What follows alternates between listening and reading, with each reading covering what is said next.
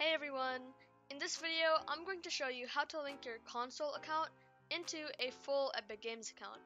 Whether you're wondering how to fix that error popping up when you try to link it, or if you just have no idea how to link it, I will show you how to do it in this video. Once you've linked it, you can get 2FA and compete in tournaments and gift your friends. Now, let's get started. Also, I have made a video on this topic a while ago, but it wasn't the best and I didn't explain it properly, so this video is going to cover everything. The first step is to open the Epic Games website. You pretty much just have to search up Epic Games on Google and open the home page. The link is also in the description. Now, you want to press sign in and choose the console you play on. I play it on Xbox Live, so I'm going to choose this.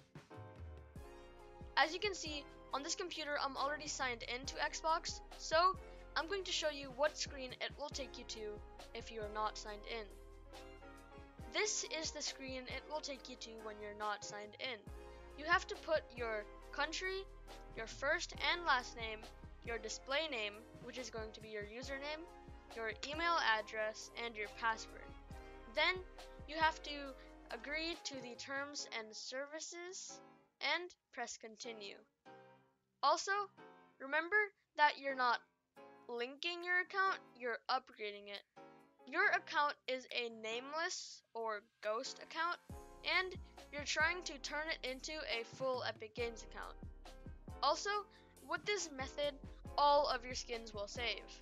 When I did this, all of my skins saved, and everything transferred from my Xbox to my PC. Make sure to think of this process as upgrading instead of linking. What I mean by upgrade is that you're turning your Ghost account into a full Epic Games account. If you upgrade it, then all of your skins will save 100%. I have done this before when I switched from Xbox to PC and all of my skins saved. Quick note, if what I'm doing in this video does not work for you, make sure to email Epic Games Player Support. They will answer your questions and the link is in the description. The upgrading process is pretty easy. All you have to do is follow the steps in the video. But please remember that you're upgrading, not linking. Many people have gotten confused in my previous video by thinking that they're linking instead of upgrading. If you link, you get the error message, so make sure to upgrade. And that's the end of the video. Let me know in the comments if you have any questions, and I will answer them. In my past video, I've answered almost all of the questions, so I will respond to your question. Bye!